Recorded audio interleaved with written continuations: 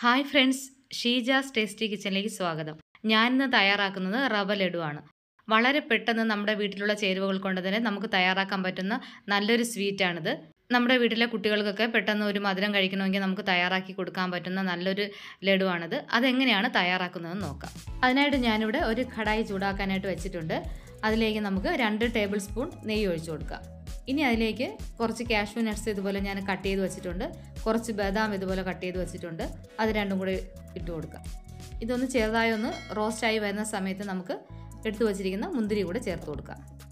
ഇത് നല്ലതുപോലെ റോസ്റ്റായിട്ട് വന്നിട്ടുണ്ട്. നമുക്കിനി ഇത് ഒരു പ്ലേറ്റിലേക്ക് മാറ്റാം. ഇനി നമുക്ക് സെയിം കടായിൽ തന്നെ ഒരു ടേബിൾ സ്പൂൺ നെയ്യ് കൂടെ ചേർത്തതിന് ശേഷം രണ്ട് കപ്പ് റവ ഇട്ട് കൊടുക്കാം. റവ നന്നായിട്ടൊന്ന് റോസ്റ്റ് ചെയ്തെടുക്കാം. ഒരുപാട് കളർ ചേഞ്ച് ഒന്നും വരണ്ട. അല്ലാതെ തന്നെ നമുക്ക് റവ ഒന്ന് മൂത്ത് വരുന്ന സമയത്ത് ഫ്ലെയിം ഓഫ് ചെയ്ത് കൊടുക്കുക റവ നല്ലതുപോലെ മൂത്ത് വന്നിട്ടുണ്ട്. നമുക്കിനി ഇത് ഒരു പ്ലേറ്റിലേക്ക് മാറ്റാം. ഇനി നമുക്ക് മധുരത്തിന് ആവശ്യമായ പഞ്ചസാര ചേർത്ത് കൊടുക്കാം.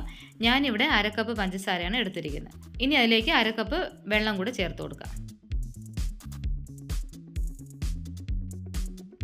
പഞ്ചസാര ഒന്ന് മെൽറ്റ് ആകുന്ന സമയത്ത് നമുക്ക് ഒരു കപ്പ് തേങ്ങ ചിരകിയത് കൂടെ ചേർത്ത് കൊടുക്കാം. തേങ്ങ ചെറുതായിട്ടൊന്ന് പൊടിച്ച തേങ്ങയാണ് അതും കൂടെ ചേർത്ത് നല്ലതുപോലെ ഒന്ന് മിക്സ് ചെയ്ത് കൊടുക്കുക. ഇനി നമുക്ക് മൂന്ന് ടീസ്പൂൺ പഞ്ചസാര കൂടി ചേർത്ത് കൊടുക്കാം. ലഡു ആയതുകൊണ്ട് തന്നെ മധുരം കുറച്ച് കൂടുതൽ വേണമല്ലോ. അതുകൊണ്ട് നിങ്ങൾക്ക് വേണമെങ്കിൽ ഒരു മുക്കാൽ കപ്പ് വരെ പഞ്ചസാര ചേർത്ത് കൊടുക്കാവുന്നതാണ്. ഇനി നമുക്ക് നല്ലതുപോലെ ഒന്ന് മിക്സ് ചെയ്ത് കൊടുക്കാം. അതിനുശേഷം നമുക്ക് വറുത്ത് കോരി വെച്ചിരിക്കുന്ന റവ ഇട്ട് കൊടുക്കാം. റവ ഇടുന്ന സമയം തീ ലോ ഫ്ലെയിമിലേക്ക് മാറ്റണം. ഇനി ഇത് നല്ലതുപോലെ ഒന്ന് ഇളക്കി യോജിപ്പിക്കണം. നല്ല സോഫ്റ്റ് ആയിട്ടുള്ള റവ ലഡുവാണിത്. നിങ്ങളെല്ലാവരും ഇത് ട്രൈ ചെയ്ത് നോക്കണം. ഇനി ഇതിലേക്ക് നമുക്ക് അര മുതൽ മുക്കാൽ കപ്പ് വരെ പാൽ ചേർത്ത് കൊടുക്കാവുന്നതാണ്. അതിനുശേഷം നല്ലതുപോലെ ഒന്ന് മിക്സ് ചെയ്ത് കൊടുക്കുക.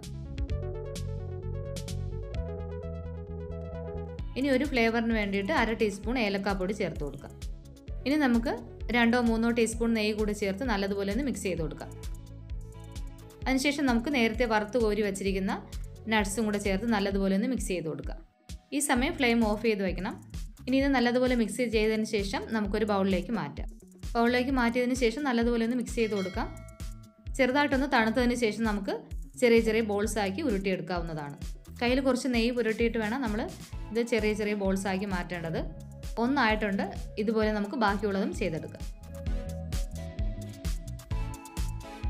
അങ്ങനെ നല്ല രുചികരമായ റവ ലഡു ഇവിടെ റെഡി ആയിട്ടുണ്ട്.